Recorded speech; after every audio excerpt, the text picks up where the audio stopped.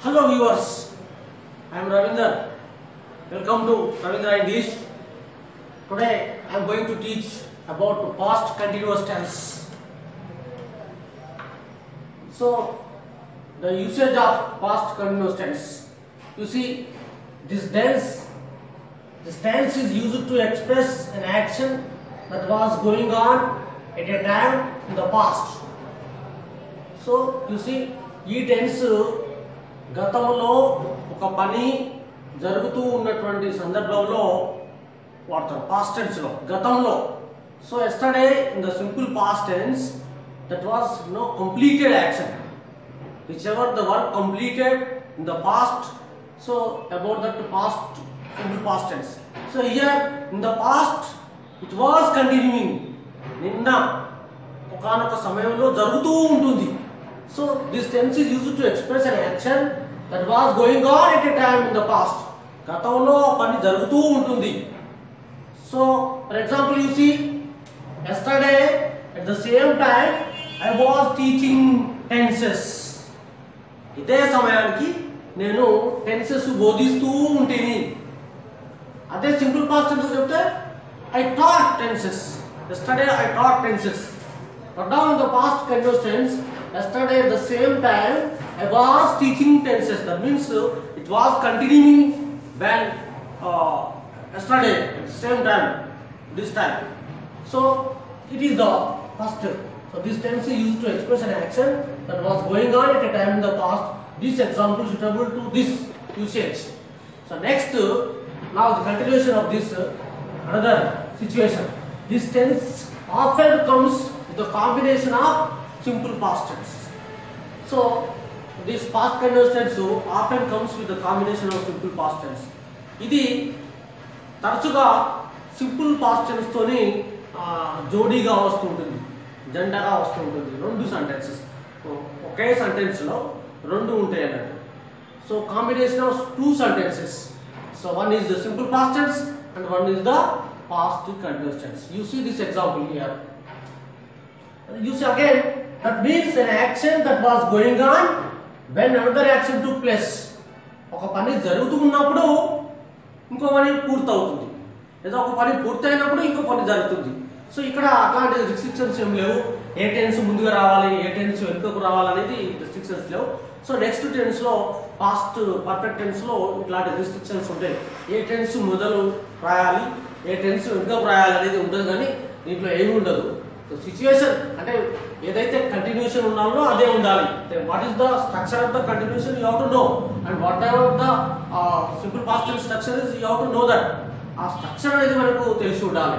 So నా you see the when I came in she was reading a newspaper నేను అక్కడికి ఎప్పుడైతే వచ్చినో when I came in she was reading a newspaper నేను ఎప్పుడైతే అక్కడికి వచ్చినో అనేది simple past tense you see that verb two whenever you find that verb two it belongs to the simple past tense so she was reading a newspaper అప్పుడు ఆమె ఏం చేస్తూ ఉన్నది? న్యూస్ పేపర్ రీడింగ్ చేస్తూ ఉన్నది. న్యూస్ పేపర్ రీడింగ్ చేస్తూ కంటిన్యూగా ఉంది అన్నట్టు వెరైటీ ఏమి నేను అక్కడికి వెళ్ళేసరికి లోపలికి వెళ్ళేసరికి షీ వాజ్ రీడింగ్ ఈ న్యూస్ పేపర్ న్యూస్ పేపర్ చదువుతూ ఉంది. అది గతంలోనే. సో అదే ఇప్పుడు చదువుతూ ఉంటే షీ ఈజ్ రీడింగ్ అనవలసి ఉంటుంది. So whenever you find here when I came means you think that this is the past past action in the past she was reading you understand that so next one while I was going to college I saw an accident అయితే continuation మొదలైన రాయొచ్చు వెనుక రాయొచ్చు కానీ ఇక్కడ when I while I was going to college నేను కాలేజీకి వెళ్తూ ఉన్నప్పుడు so this is continuation while I was going to college నేను వెళ్తూ ఉన్నప్పుడు కాలేజ్కి వెళ్తూ ఉన్నప్పుడు ఐ సా అన్ యాక్సిడెంట్ నేను యాక్సిడెంట్ను చూశాను సో ఇక్కడ ఎక్కడైతే ఇక్కడ వర్స్ వచ్చి వి ఫోర్ ఉందో మనం ఎంతో ముందు చెప్పలేదు ఇక్కడ you see that the structure of the past continuous tense is subject plus was or were plus V four plus subject Here you see that was is there after subject and going is a V4. Okay, the call is the object.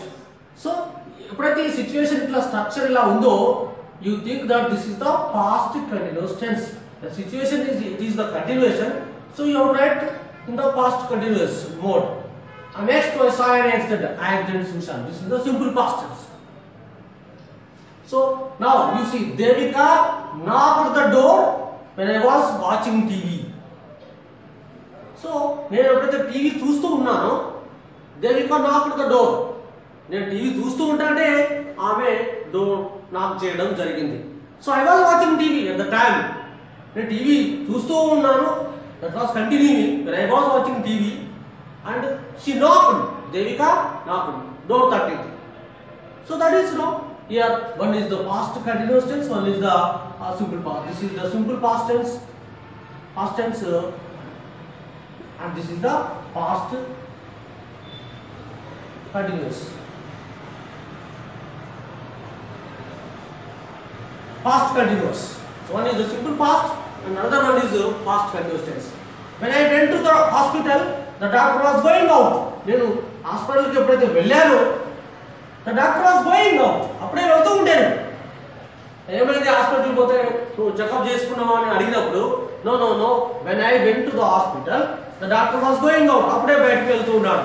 So that's why I return without seeing the doctor so you have same that way so now next your when I went to the railway station the train was moving ఇక్కడ నేను railway స్టేషన్కు వెళ్ళినప్పుడు the train was moving that was continuing వెళ్ళినప్పుడు నేను railway station వెళ్ళినప్పుడు train was moving so we could see in the past action the train was moving అక్కడ కదులుతూ ఉంటుంది. కదులుతూ ఉండేది.